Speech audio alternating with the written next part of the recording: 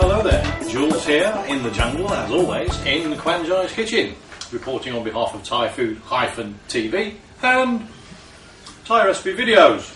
dot com. She has to get her edge in, doesn't she? Right, well, what have I got for lunch today? Massaman curry. Blooming marvellous this is.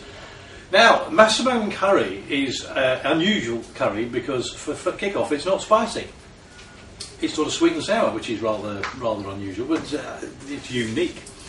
It derived from an Indian uh, origins, I should say, and Massaman sort of comes from the old English, sorry, old Indian word, Musulman, which we believe is the old old word for Muslim.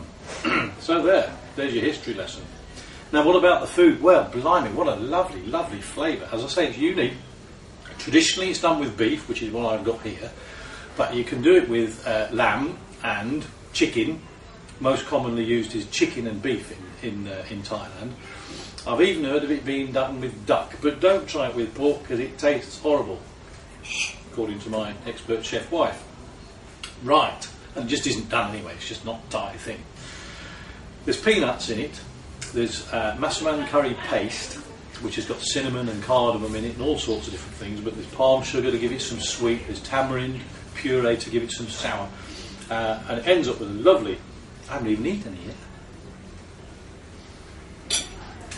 A lovely burst of flavours. Absolutely delicious. But you've got to be careful. A lot of recipes I've seen recommend using far too many peanuts. And peanuts, although they're not a very powerful flavour, can overpower this dish. And I've had it that way, so. Um, but we've got potatoes and carrots and beef, basically. And of course, I'm eating it with the ever popular, ubiquitous. There's a lovely word, isn't it? The ever present jasmine rice.